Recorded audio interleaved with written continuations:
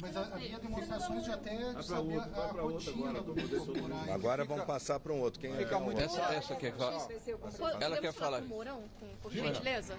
O senhor pode trazer? Foi não? cá um pouquinho.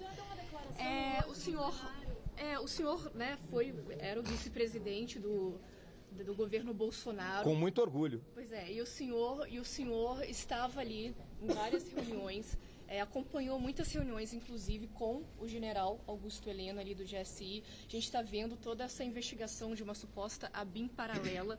Como que o senhor avalia, recebe essas informações de todas, todas as decisões do ministro Alexandre de Moraes? Olha, a primeira coisa, eu conheço o general Heleno desde o ano de 1974, né? então fazem 50 anos, né? que ele era meu instrutor na Academia Militar das Agulhas Negras.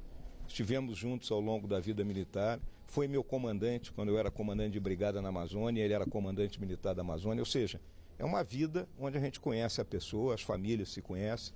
Então, pelo caráter do general Heleno, né, eu tenho absoluta certeza, minha convicção, de que ele jamais compactaria com algum tipo de entidade, né, vamos dizer essa tal da BIM paralela, encarregada de investigar a revelia da legislação a vida de pessoas. O senhor nega que tenha visto qualquer coisa em relação à BIM de golpe e esse, esse monitoramento também do ministro Alexandre de Moraes e essa minuta golpista, além do grupo de assessoramento, segundo o ministro Alexandre de Moraes. Não, eu nego peremptoriamente isso aí porque eu não tomei conhecimento e volto a enfatizar. Pelo conhecimento que eu tenho do general Heleno como chefe do Gabinete de Segurança Institucional, ele não aceitaria isso. Senador, hoje o senhor deu uma declaração no plenário do Senado, o senhor também acho que colocou nas redes sociais, falando que as Forças Armadas não podem se omitir. O que o senhor espera das Forças Armadas Ah, na ah, prática? muito bom, foi boa a sua pergunta. A, re- a minha visão é que é o seguinte: existe a justiça militar.